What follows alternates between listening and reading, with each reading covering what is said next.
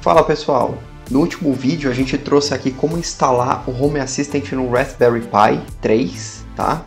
E deixamos ele rodando direitinho para poder partir para os próximos passos. Então hoje é uma, vou fazer uma coisa bem rápida aqui, vamos fazer uma integração com os dispositivos da Sonoff. Eu tenho uma conta da Sonoff aqui configurada lá no EULink, que é o aplicativo que é usado para adicionar os dispositivos.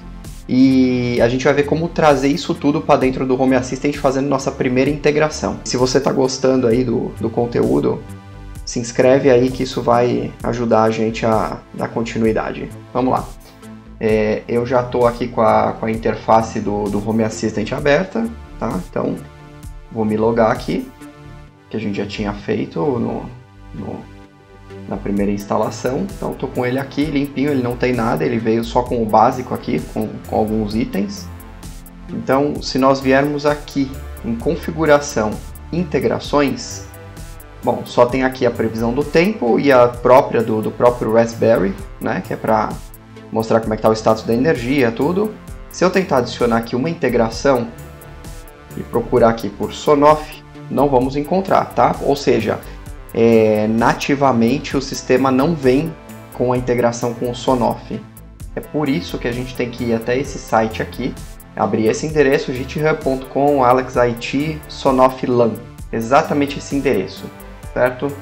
Então, vamos lá.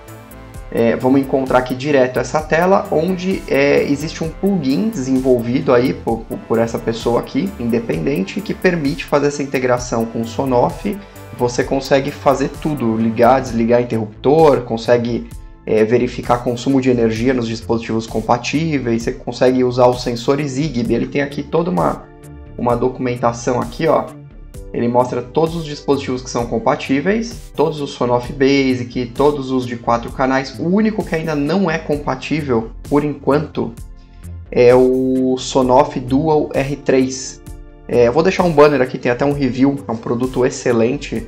Ele ainda não está integrado aqui, mas logo deve funcionar. O restante aqui, praticamente tudo, todos os sensores Zigbee, tudo já funciona aqui. E pode ser usado de forma completa. Então o que, que nós vamos fazer aqui? Vocês vão vir aqui em Code, Download Zip.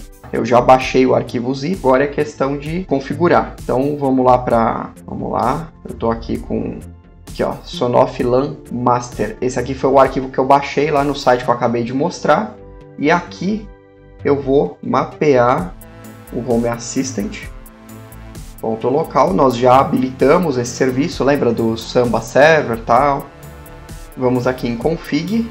Como ainda não existe, é, como não tentei adicionar nada ainda, então ainda não existe o diretório aqui de, de componentes customizados. Então eu vou criar aqui uma pasta chamada custom, tem que ser idêntico, tá? Custom underline components. Ok, dentro do, dentro do, do Home Assistant então, config, a gente vai criar um custom components. Vamos abrir aqui o nosso zip, entrar aqui no em custom components. Ah, podia arrastar direto, mas enfim. Vamos copiar a pastinha Sonoff aqui para dentro. Pronto, a parte de arquivos está feita. Agora vamos voltar lá para a primeira para a primeira janela, onde nós estávamos. É, vamos voltar aqui para o nosso Home Assistant. Tá? Tudo que a gente tem que fazer agora é entrar aqui no editor de arquivos, que eu também mostrei como é que faz a instalação lá da outra vez. A gente vai entrar aqui em... vai, vai escolher aqui em cima, né? Qual o arquivo. Primeira coisa, abre o arquivo Secrets. Ele vai estar nesse formato aqui, tá? O que, que a gente vai fazer aqui no arquivo Secrets? A gente vai criar o usuário e a senha da Sonoff. Então, você vai colocar nesse formato aqui, Sonoff, ou o nome que você quiser aqui, tá? Sonoff User, User e Password, do jeito que você quiser. Isso aqui é só uma variável que eu estou criando. Então eu vou digitar aqui meu login e minha senha. Lembrando que, se você já usa o aplicativo EULink da versão 4.0 para cima, você pode até compartilhar o mesmo login que seu aplicativo vai continuar funcionando no celular. Se for uma versão anterior, toda vez que você logar aqui pelo Home Assistant, ele vai deslogar no celular. E quando você logar no celular, ele vai deslogar no Home Assistant. Então, se for esse o caso, crie uma outra conta, é, compartilha todos os seus, seus dispositivos nessa outra conta e configure essa conta secundária aqui que funciona perfeitamente. Tá? Então, vamos só mudar aqui, vou digitar meu, meu login e minha senha. Feito isso, Vamos aqui agora em Configuration. Então, aqui eu tenho já algumas coisas. Eu vou vir aqui embaixo e vou acrescentar a integração com o Sonoff, tá? Eu já tenho uma integração pronta e até que ele recomenda lá no, no é, na página dele, lá do dono do plugin, ele recomenda utilizar esse padrãozinho aqui, tá? Por quê? É, porque nesse padrão aqui você já tem é, usuário e senha, tá? No caso, como eu coloquei meu usuário e senha lá dentro do arquivo secrets, então eu vou colocar só uma exclamação secret, ele já sabe que é para ir procurar lá naquele arquivo, e lembra que eu coloquei lá Sonoff User, Sonoff Pass? O nome que você colocar lá para sua variável, ou seja, antes do dois pontos, é o que você vai colocar aqui. Aqui ele está procurando lá no arquivo secret a variável chamada Sonoff User, no arquivo secret a variável chamada Sonoff Pass. Aqui eu estou dando um force update, temperatura e, e potência, e estou dizendo para ele coletar as informações de todos os sensores aqui.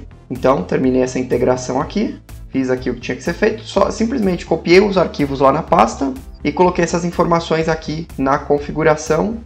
Vou salvar. A gente vem em configuração, é, controle do servidor para fazer um restart no servidor. Mas aqui eu estou vendo que ele só está me dando uma única opção de, de, de, fazer o restart do servidor. Vamos fazer uma coisa aqui importante, isso vai ser até útil para as próximas integrações, vai te dar mais funções. Vem aqui no seu usuário e ativa aqui o modo avançado. Vamos ativar esse modo avançado. Vamos voltar aqui em configurações é, vamos vir aqui em controles do servidor, ó, me abriu muito mais opções agora. E aqui tem uma opção importante que é a validação da configuração. Como eu mexi lá no arquivo de configuração, sempre checa antes e vê se ele vai ficar verde aqui. Se ele não ficar verde aqui, não validar a configuração, der algum erro, você volta lá e corrige seu arquivo antes de reiniciar o servidor, para você evitar que o servidor é, é, seja derrubado e não suba novamente. Que aí você vai ter um problema, talvez tenha até que reinstalar o seu, o seu Home Assistant. Então vou dar um restart aqui no, no Home Assistant. Ele vai reiniciar agora todos os processos. Sumiu aqui, ó, ele está falando que ainda está inicializando, então nem tudo vai estar disponível ainda. Olha só. Entrei agora aqui em Overview, olha, olha lá, ele colocou tudo que eu tenho da Sonoff já aqui na tela. Então, por exemplo, tem uma, tem uma lâmpada aqui, um interruptor aqui que é um Sonoff TX, que eu chamei de luz do escritório. Então, se eu der um toque aqui, ó, olha lá, apagou minha luz. Vocês vão perceber muito que eu tô com outras iluminações aqui. Olha lá, acendeu, apagou, acendeu, é instantâneo. E se eu fizer isso pela Alexa, ele também vai identificar aqui que foi desligado. Vamos ver. Alexa, apaga a luz do escritório. Olha lá, apagou. Meus dispositivos aqui estão funcionando pelo aplicativo do, é, do Huawei Link, então ele está funcionando pela nuvem, conectado na internet. E o aplicativo avisa é, instantaneamente aqui que, que foi desligado. Eu posso ligar por aqui de novo. Se eu clicar aqui em algum dispositivo, por exemplo, ó, ele vai me mostrar que está trabalhando de forma online. Os meus dispositivos aqui da Sonoff, eles não estão na mesma rede que eu coloquei o Home Assistant, eles estão numa numa LAN separada, eles estão numa VLAN separada. É, mas se você tiver tudo dentro da sua da mesma rede Wi-Fi, esse esse plugin aqui que conecta com o Sonoff, mesmo se você perder a internet, ele continua conectado, tá? Ele continua conectado, ele muda aqui e diz que está conectado tanto pela nuvem quanto pela LAN. Então ele também faz a conexão direta com o seu dispositivo, já que o Sonoff tem essa capacidade. Aqui, se eu vier agora, vamos dizer que eu queira ver todos os dispositivos que eu tenho, tá? Independente aqui da, da nossa interface. Você vem aqui em configuração, entidades, não é devices. É, nem todos os dispositivos ficam em devices, geralmente só os que têm integração nativa. Tá aqui, ó, ele mostra qual é a integração que está sendo usada, ó. Aqui, ó, tudo integração da Sonoff. Eu tenho inclusive o sensor de porta, sensor de presença, ó, o sensor de presença está indicando, vamos ver. Aqui, ó, sensores. Sensores binários, né, que é ligado e desligado. Sensor de presença, ele está dizendo clear. Vamos, vamos movimentar aqui. Detected. Então já detectou o movimento. Ó, a porta da sala está fechada, a janela do escritório está aberta. Aqui eu tenho um outro, ó, tenho um power meter que é um POW R2, um POW R2. Ó, ele está medindo 126 volts só que ele não tem carga nenhuma. Se tivesse, ele estaria medindo aqui. É, esse aquecedor umidade, aquecedor temperatura, é o Sonoff TH16. Ele identifica aqui também, você pode usar isso aqui como entrada numa automação. Se a temperatura subir, se a temperatura descer. Esses sensores aqui da sacada e da sala são sensores Zigbee de temperatura e umidade, ou seja, ele centralizou tudo aqui, não importa mais o tipo de dispositivo, se é Zigbee, se não é, ele junta todos os sensores aqui e eu posso utilizar esses sensores para fazer o que eu quiser. E o legal de você ter todos esses sensores aqui é que eu sempre eu posso criar automação para qualquer um desses sensores colocando condicionais. Então, eu quero que eu quero que acenda minha luz quando eu entrar aqui no escritório, é, mas só se a janela estiver fechada. Essa plataforma permite fazer esse tipo de automação. E, e isso é realmente um diferencial. Então aqui vocês puderam ver aí que é extremamente flexível. Eu mostrei como é que faz a integração com o Sonoff e agora você já pode criar aí o seu primeiro dashboard com os seus dispositivos para poder para poder fazer esse controle ok? Então, até a próxima. Na próxima vamos voltar aí com mais integrações para a gente poder incrementar aqui a nossa interface. É isso aí, valeu, até a próxima.